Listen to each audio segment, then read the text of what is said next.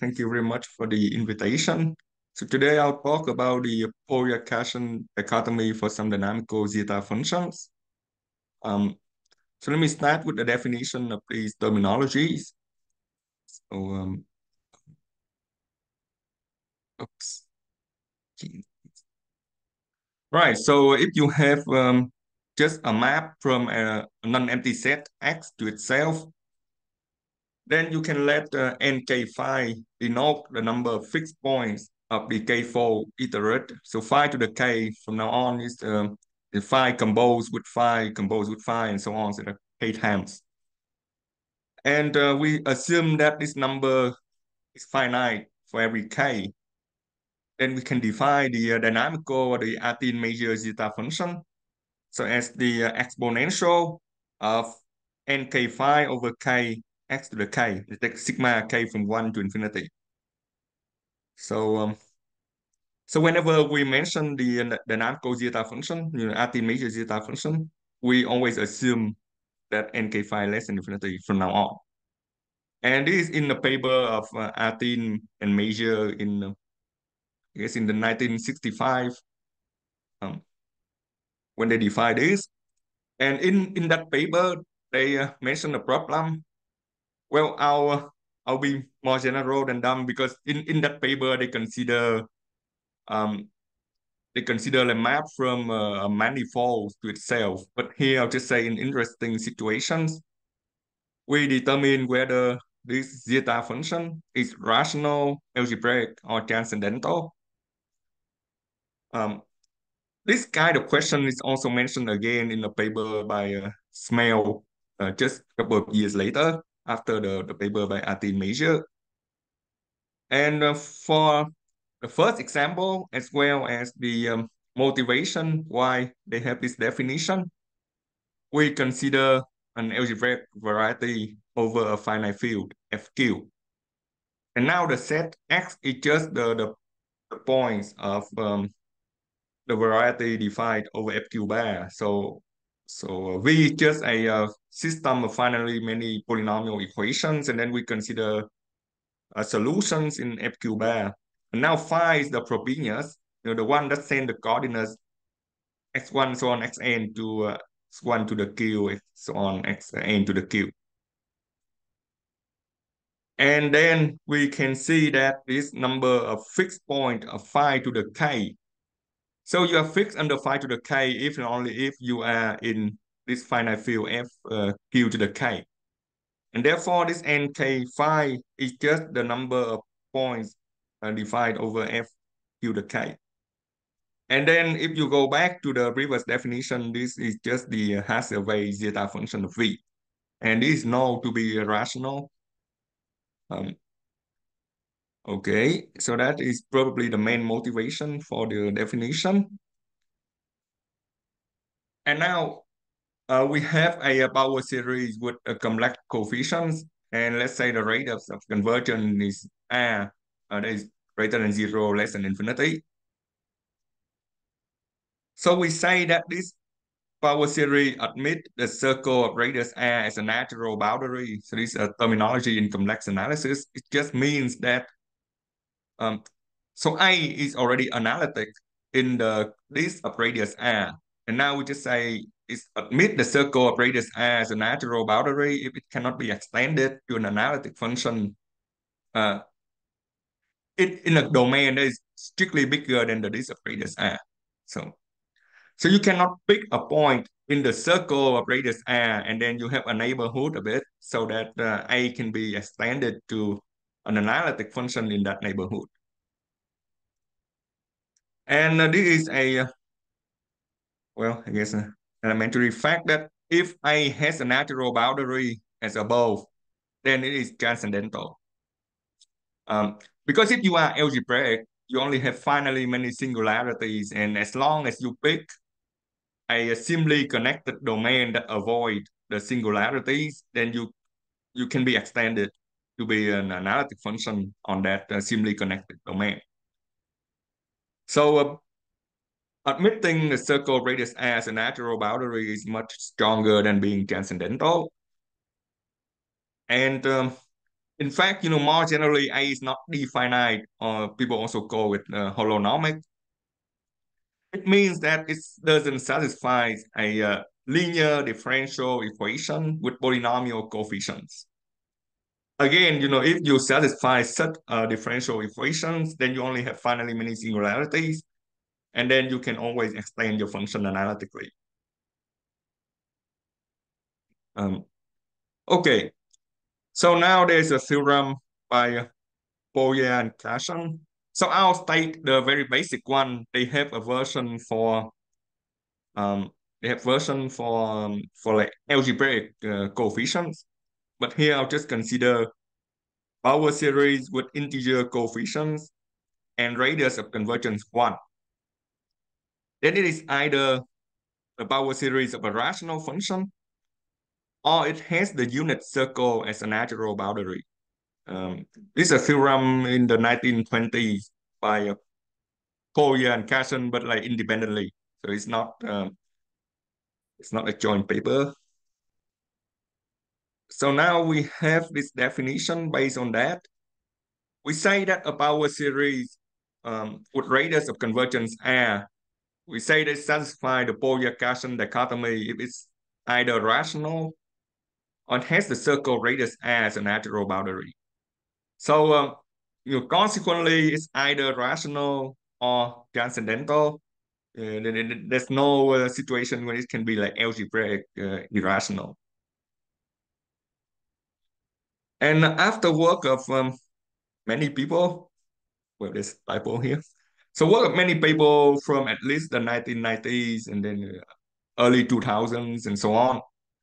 So in the paper um, by uh, Jason Bell and uh, Richard Miles and uh, Herm Ward in 2014, they state their observation that in many interesting situations, um, dynamical zeta function satisfy the Pólya-Carlson dichotomy.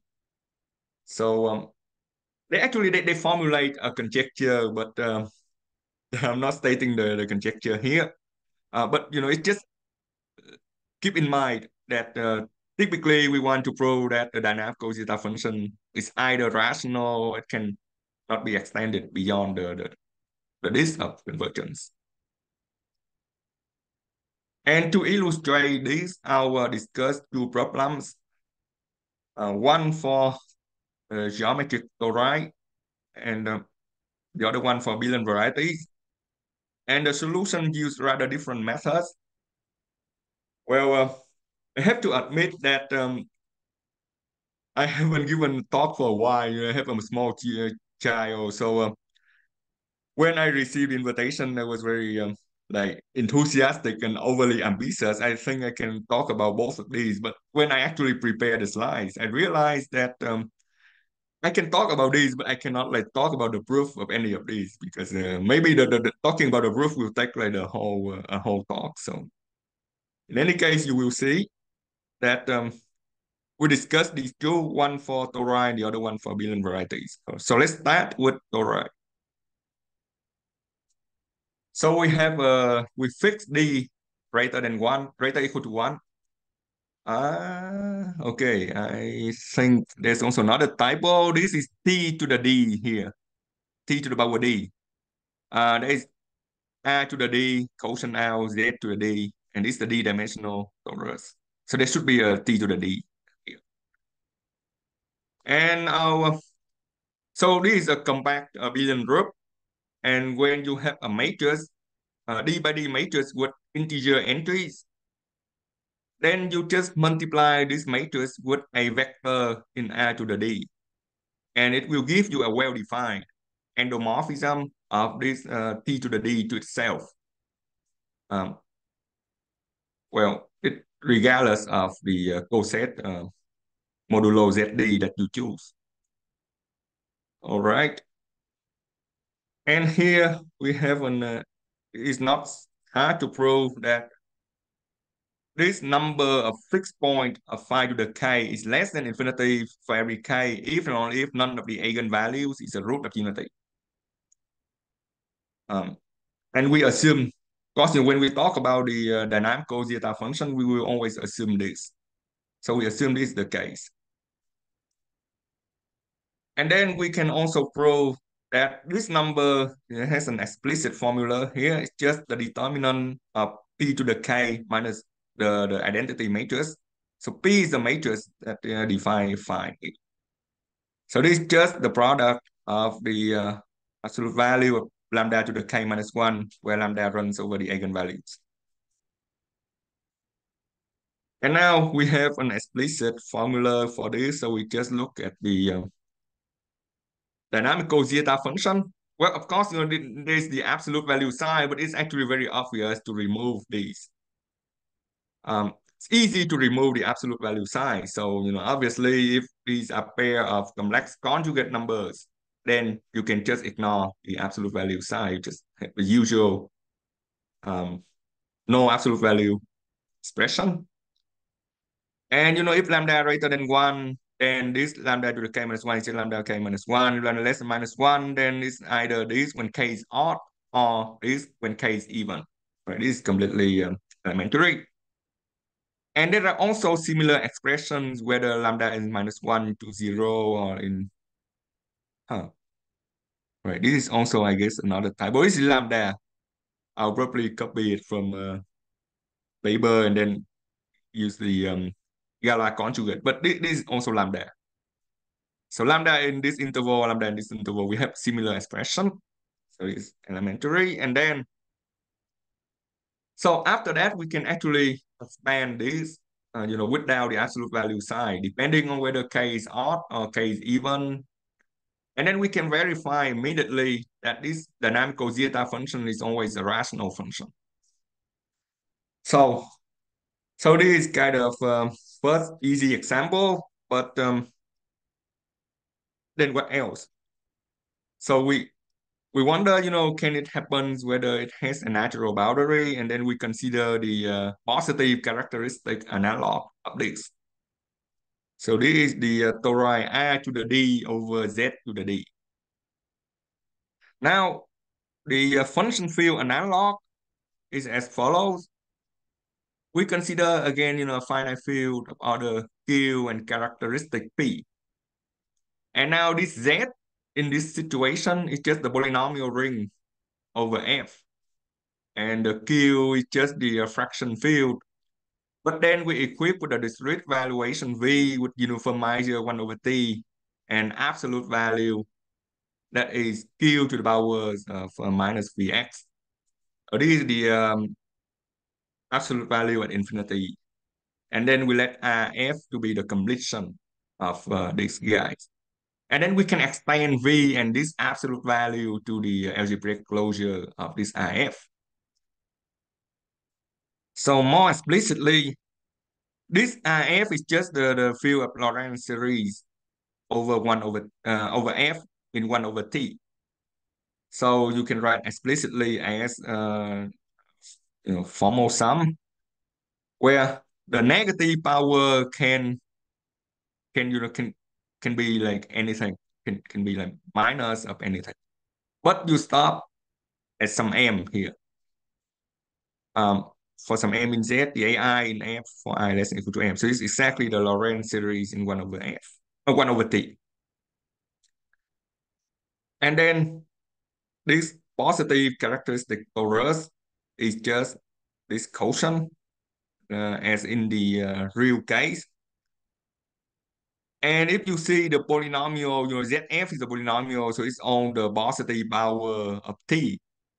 So when you quotient this out, pretty much you just take the negative powers of t. And that's why it's isomorphic as abelian group as the uh, product of f, where, you know, there are like countably many copy of f in here. And it's still abelian group. Hmm. So um, and now I have a matrix, D by D matrix with entries in this ZF.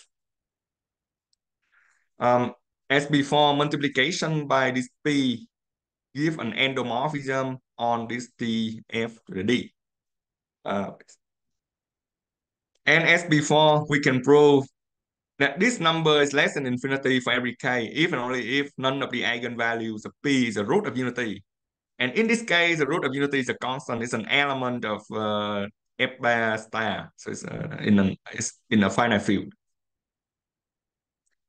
And we also have this formula nk phi is the absolute value of the determinant of p to the k minus the identity matrix. That is the product of this lambda to the k minus 1.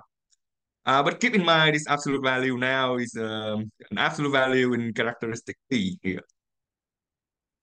Okay, so everything is the same, but we do have something different. So this time we, we do have that uh, this guy can admit a natural boundary. So it's not always rational like before. So this time it can be um, very transcendental. Right, so let me go back to this formula for now here. Now, if I'll let R to be the product of the maximum of 1 and the absolute value of lambda, that's what I'm going to have here. R going to be that. Again, lambda runs over the eigenvalues of P. Now, if the absolute value of lambda is, is not 1 for every eigenvalue, then this is just 1 over 1 minus Rx. Because if you go back to the previous formula by the uh, non-Archimedean property of this absolute value, the nk phi is just exactly r to the k. And so in this case, this guy is exactly this. Otherwise, there exists some lambda where the absolute value of lambda is 1. Then this dynamic zeta function, it converges in the list of radius 1 over r. And it admits the circle of radius 1 over r as a natural boundary. So consequently, it's transcendental.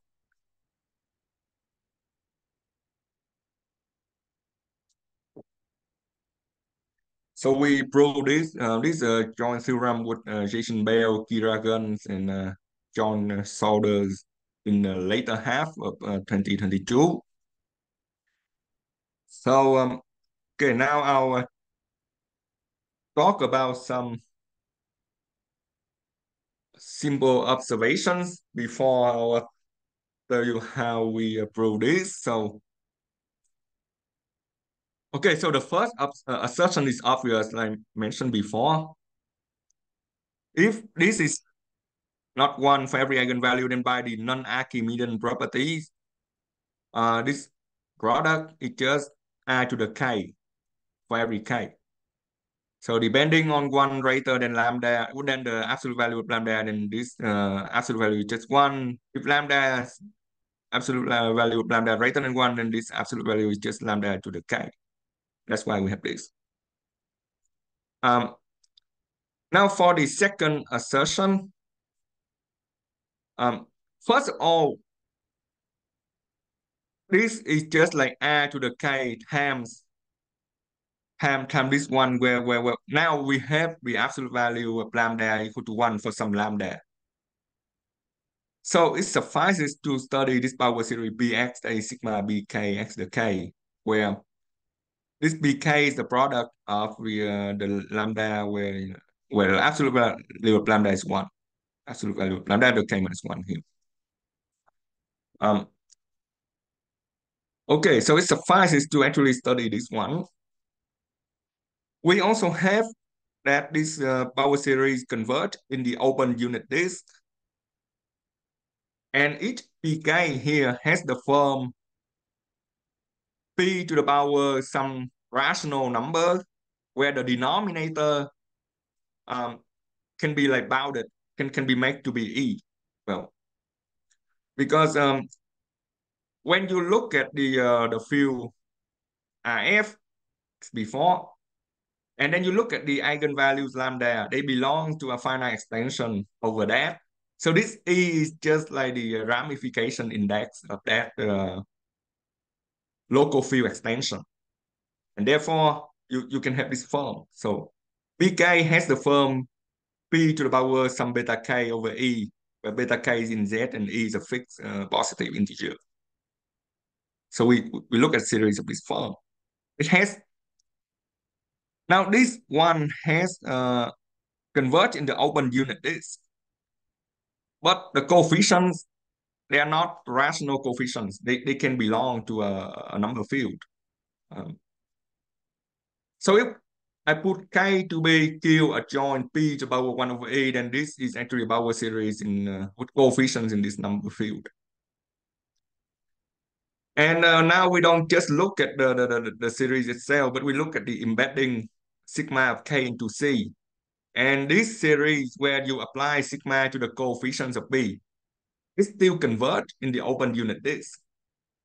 And this is also very obvious because um, I go back here, you see that uh, I apply sigma to this pk, you still have the same absolute value because it's just a rational power p. So, um, so sigma of the coefficient is just differ by, uh, by, by, by multiplication by a root of unity. So that's why it has same absolute value. So on this power series, sigma b convert in the open unit disk. and uh, let me define this one. So for algebraic numbers alpha 1 to alpha n, the denominator of alpha 1 to alpha n is just the smallest positive integer d, where d times alpha i, is an algebraic integer for every i. Um, so if there's only one number, alpha 1, then this is, uh, we, we have a denominator of one numbers. So so this denominator in a sense just, well, it's exactly the LCM of the denominator of the individual alpha i's. now if you go back to the, the, the, the power series bx, you see that most of the time, this denominator can be, it, it's actually small. Um, it's small in the sense that it's not exponential in k. It's e to the power little o of k when k goes to infinity. Most of the time. But occasionally it can be very large.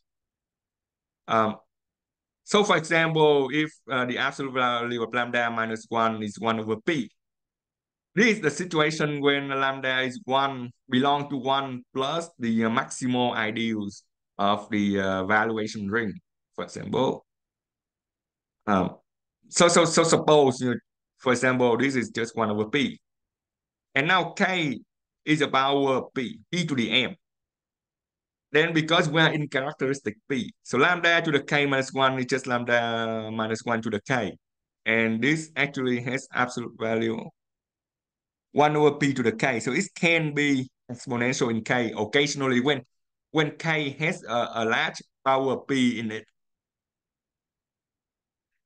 So when we look at the bx, we um, we kind of say that uh, yeah, most of the time the coefficients are like um, are like algebraic integers, but occasionally it can have very large denominator. And so it motivates the following result that we prove. So we have something that's called a, a more general criterion for the Pólya-Carlson dichotomy. Um, so if you recall uh, the, the original one, you have integer coefficients. You are convergent in the unit disk. And then you either rational or admit the unit circle as a natural boundary. So now you if if you are like uh, integers, it means your denominators are always one. Um, this result it allows us to consider power series where where, where the where they might have denominators uh, bigger than one. And it also allows us to consider the case when occasionally some denominators are, are big. Okay, so let me state this one first and I'll explain um, a little bit more later. So we have a bad set B. Uh, a, bad set B here where where b is um small, you know, n over log n, little o of n over log n density. It's like not as uh, big as the, the set of prime numbers, example. So where the uh, intersection of b with uh, the interval from 1 to n uh, has cardinality little o of n over log n. Now let k be a number field, let a be a power series uh, with coefficient in K such that uh, this sigma A of X converge in the open unit disk for every embedding of sigma sigma of K into C. All right, so now we suppose that the denominators of the AIs where I not in the bad set B.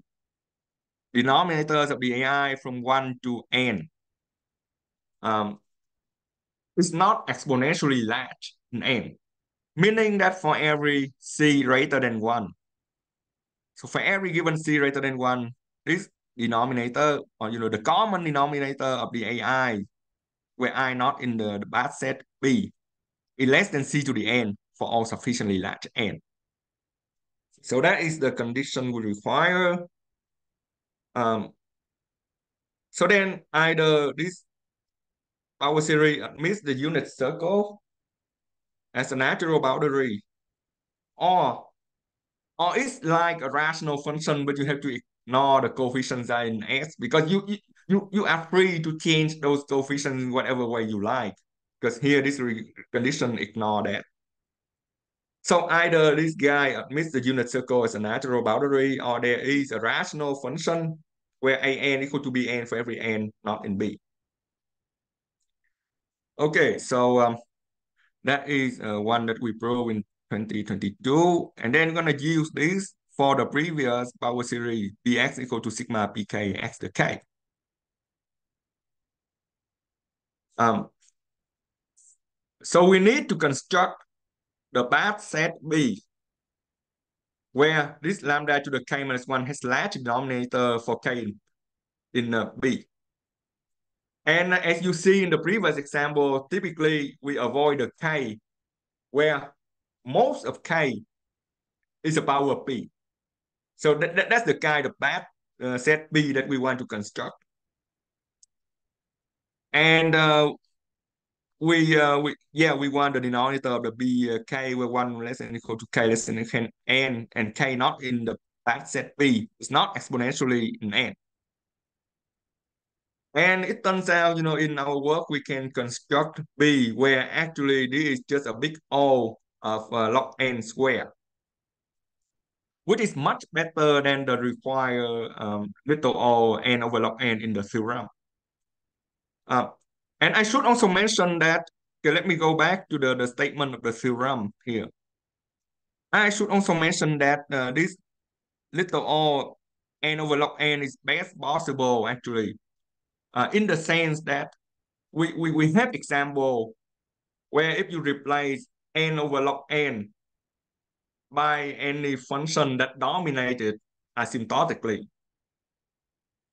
like um, maybe n over square root of log n or anything like that, then uh, the, the, the statement of the theorem doesn't hold. So this n over log n is the best possible in, in a certain sense. And now in our work, we can actually construct B where this uh, this is just like log n square and is satisfy the uh, requirement and uh, yeah, as I mentioned before, I don't think I have uh, time to talk about the roof of this. Uh, maybe I should just like uh, break this story and then can use the whole talk to talk about the roof. But um, now I'll move on to the second uh, problem that is about abelian varieties. So any questions or comments? I don't see any, I guess. Okay. Okay, if there's no questions or comments, I'll move on to the next phase.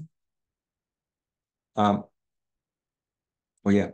Now I'll talk about abelian varieties. And uh, a lot of this is taken from the paper by Byszewski and Cornelissen on uh, co-dynamics on abelian varieties in positive characteristics uh, with an appendix by uh, Royals and Ward, uh, published in Algebra Number Theory in uh, 2018. So, okay. So all, uh, a lot of these are taken from there. Now we have um, phi, there is an endomorphism on a abelian variety X defined over an algebraically closed field K. And as before, we always assume that is uh, nk phi less infinity for every k. Now, if we let G to be the dimension of X, then there exist algebraic numbers, uh, C1 so on to C2G, none of which is a root of unity where this degree phi to the k minus 1 is just the product of the cj to the k minus 1, uh, j from 1 to 2g. And you probably recognize that uh, the C1 to C2G is just the eigenvalues when you take uh, the action of corresponding of action of phi on the L-adic uh, Tate modules when um, when L is not the characteristic of K. So, so we have this formula here. And of course, you know, this the degree is uh, always uh, a positive uh, integers. So you can even say that the uh, algebraic numbers C1 to C2G actually um, they are actually algebraic integers. And they, they, they are also the eigenvalues the action on the Tate module. All right. So we have this formula for the degree. And again, if we put R to be the product of the maximum of 1 and the absolute value of the Cj, j from 1 to 2g, then uh, the, the, the previous power series actually convert in the open disk of radius 1 over R. Okay.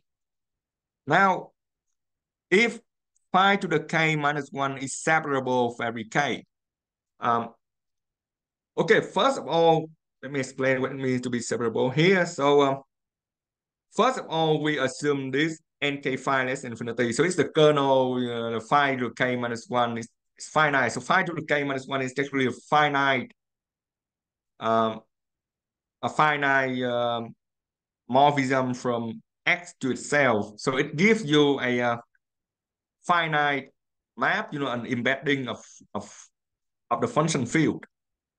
So when we say that this is separable, it just means that the, the function field extension under the uh, the, the map uh, phi to k minus 1 is uh, separable. So when this is separable for every k, then this number is exactly the degree of phi to k minus 1, which is given by this formula. And therefore, you can uh, prove easily that is, this zeta function is rational. Um, and of course, this is separable, for example, when k has characteristic 0. So in this case, the dynamical zeta function is rational.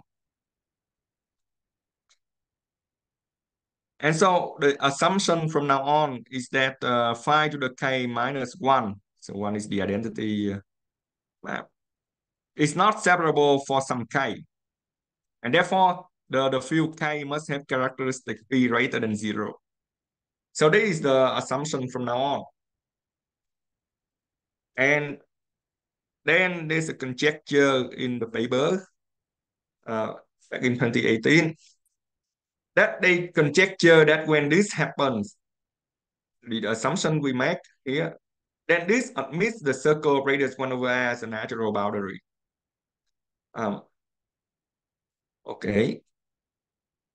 And in um, 2023, so second half of 2023, we proved that uh, this conjecture holds. Um, but um, you know, I'll, I'll, say this is a conjecture because they, they don't just make it, but they they, they actually provide uh, some evidence or some strong evidence for, for, for this. So for example, I'll maybe I'll just say it here. I didn't write in the slides. Um, let me go back here. When you look at this formula for NK phi, they prove that uh, if none of the Cj has absolute value 1, then uh, conjecture holds. So the, the, the, the zeta function has a um, has a, a, natural boundary. So under this assumption that uh, none of the Cj has absolute value one, so it's kind of also analogous to the uh, case.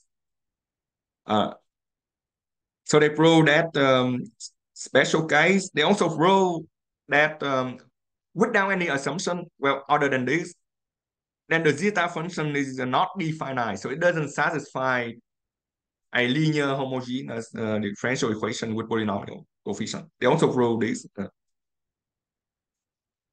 so they provide some uh, result to support their conjecture. And, uh, you know, in 2023, we prove it. Now I'll tell you a little bit about uh, proof. Again, we have some uh, first observations and no results.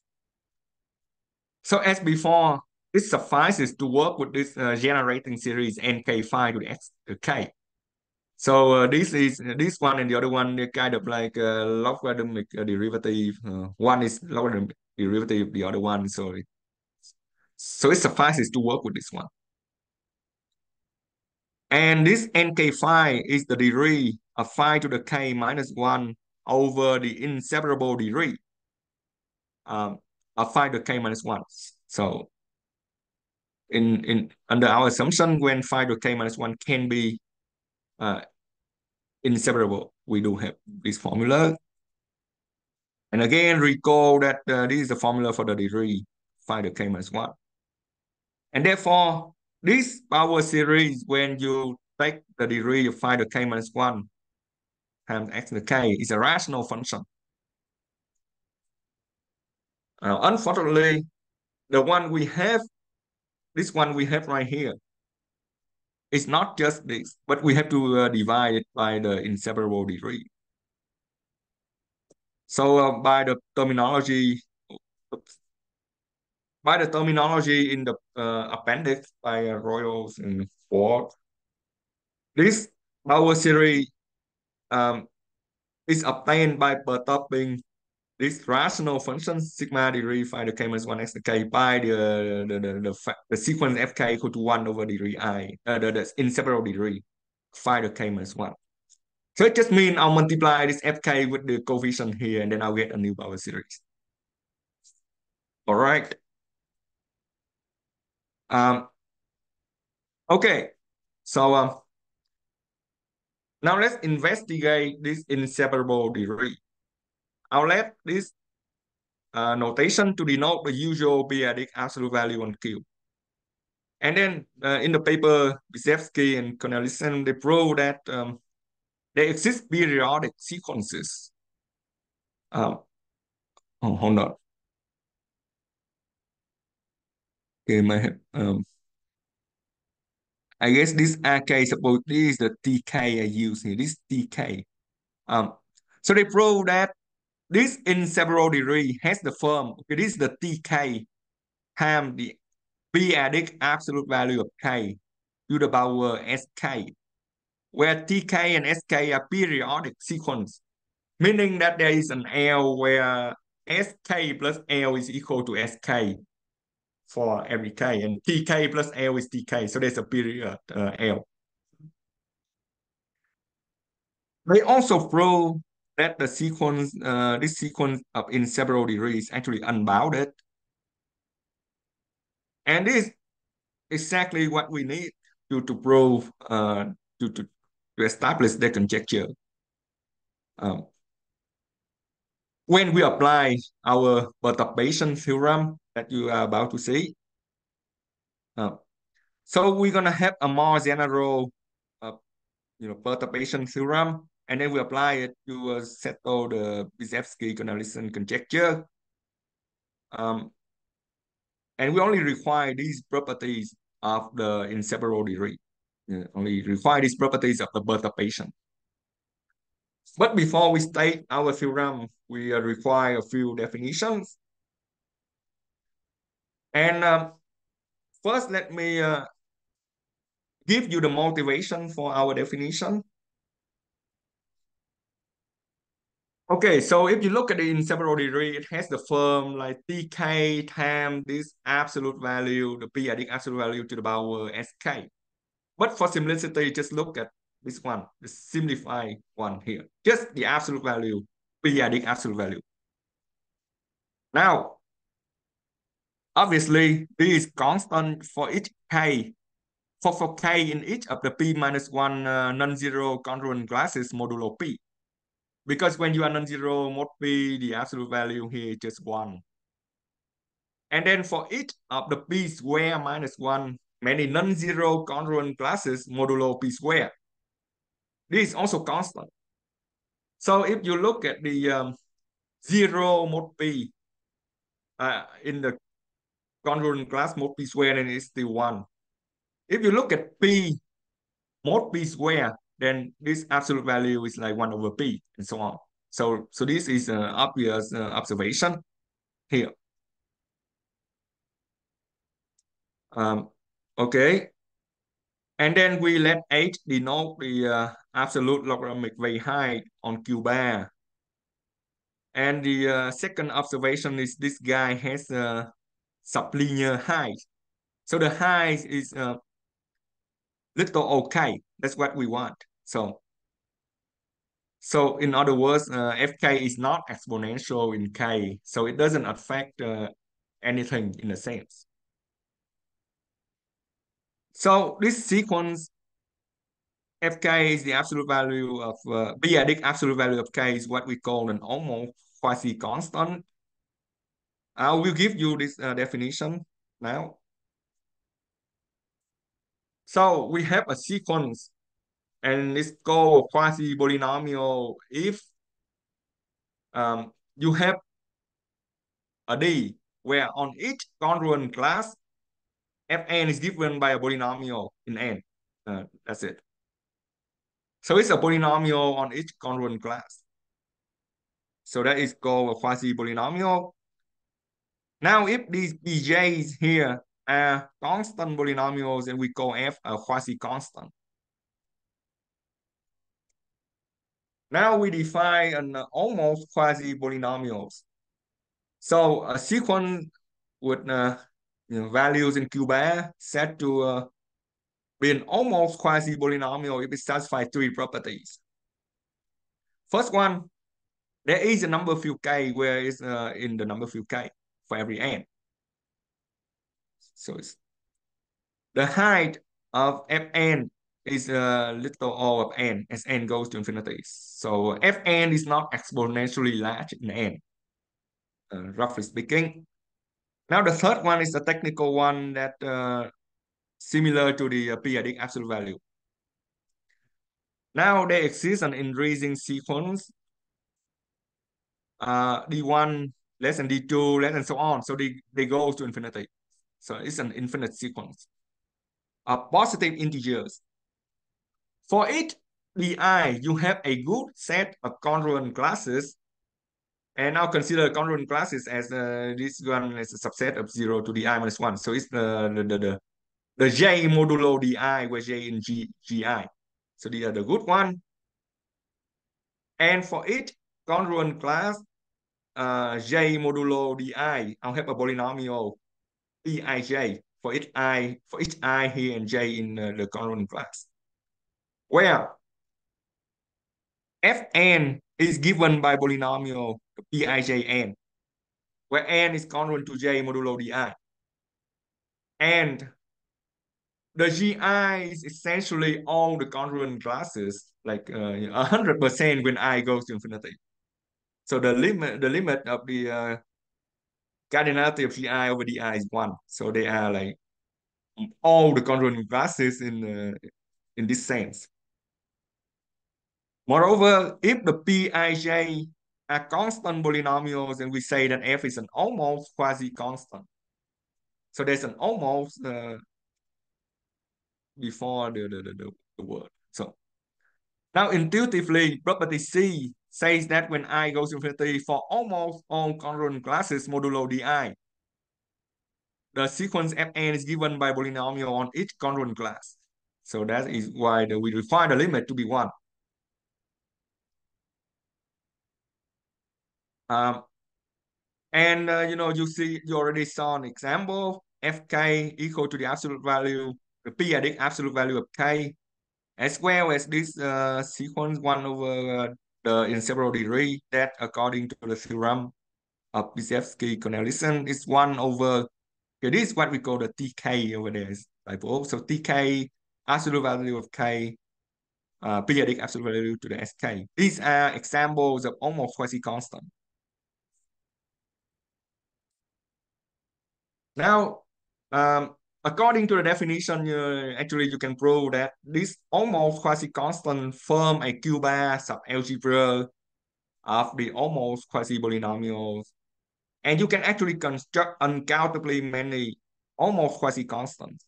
So, so, so this is actually much more than the quasi-polynomials.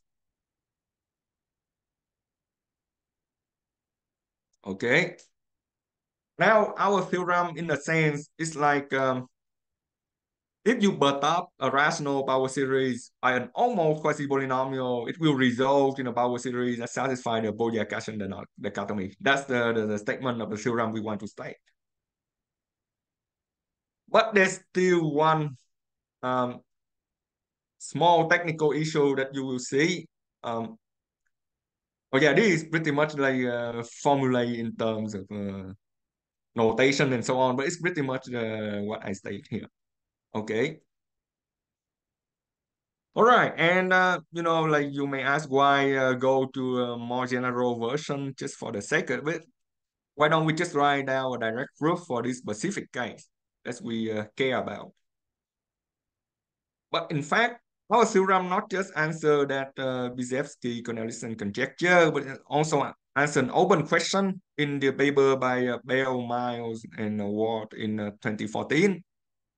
And it's also answer an uh, important case, an open question by Royal Ward. Uh, that is the appendix of the paper by uh, Byszewski-Cornelissen. Uh, and uh, we, we feel like it's useful in establishing uh, this dichotomy for many dynamical zeta functions. But uh, I have thought about it, maybe not too carefully, but I, I did think about it. I don't think it can settle the previous one on the characteristic, positive characteristic tori. So, uh, so the, the two methods are quite different. Um, okay, now, before we state the theorem, there's still an extra definition. Um, for example, you consider this uh, rational function, your 2 to the n plus minus 2 to the n plus 1 x to the n. Here, this kind of um, linear recurrent sequence, it will give us an issue. Um, so we, we actually construct uh, almost quasi-constant f where this guy is, doesn't satisfy the Pólya-Carlson dichotomy.